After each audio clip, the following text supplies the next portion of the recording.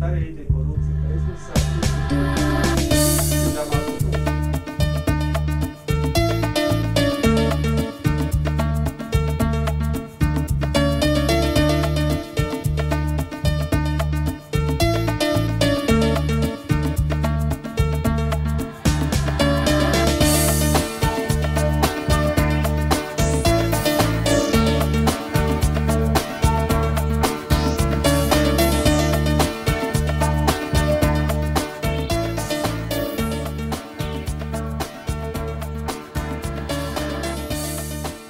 Consider că democrația și creștinismul reprezintă două dimensiuni care se pot menține în echilibru. Creștinismul are menirea de a preveni derapajele democrației spre libertinism, iar democrația are scopul de a preveni alunecarea creștinismului către zona fundamentalismului religios.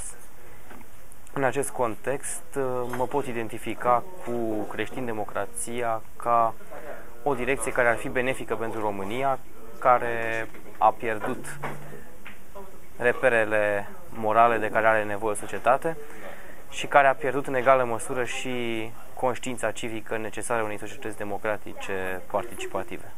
Consider că creștin-democrația este șansa României de a prospera este un model dovedit în țările din vest, în toate sistemele politice anglosaxone și consider că promovează valori, promovează oameni capabili, oameni destoinici și oameni care uh, care pot să ocupe funcții pe baza meritelor. Dar care sunt valorile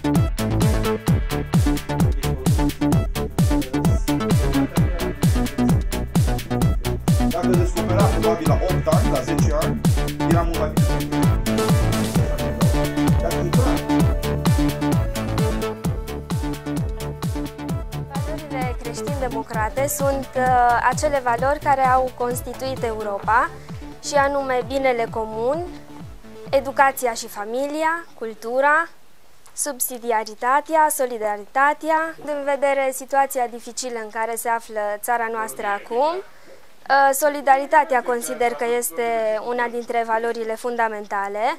Cetățenii trebuie să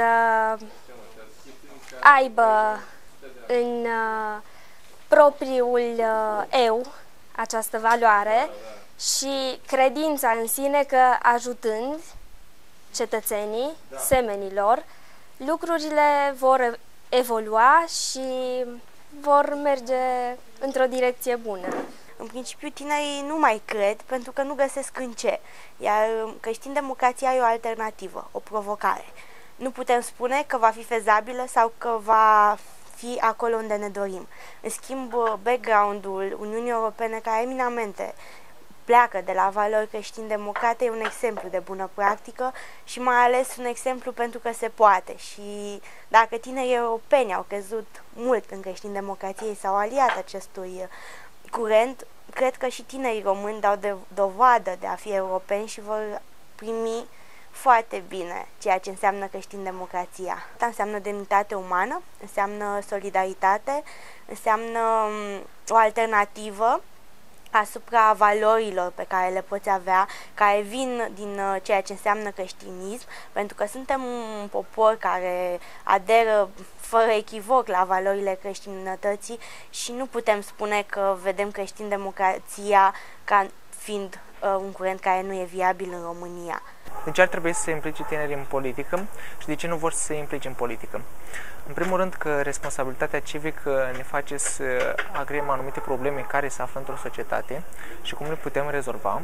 De ce nu se implică? Pentru că tinerii nu au niște modele de oameni profesioniști din punct de vedere politic.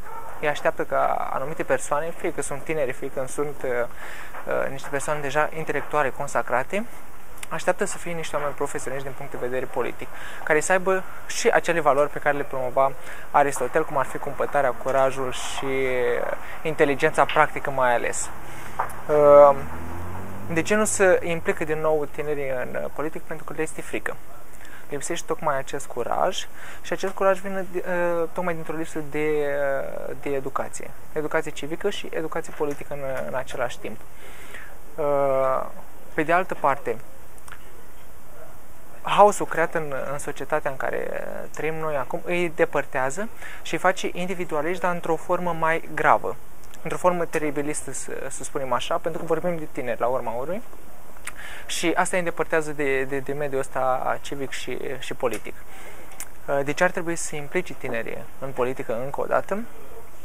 Pentru că altfel uh, ne permite să avem o statură verticală la un moment dat în societate și ne uh, permite să ne apropiem noi ca oameni. Ne permite să fim solidari și să ne înțelegem noi atât ca percepții diferite uh, asupra viziunii uh, societății în care trăim și asupra uh, viziunii noastre personale în care uh, percepem uh, viața ca și formă bună de, de trai.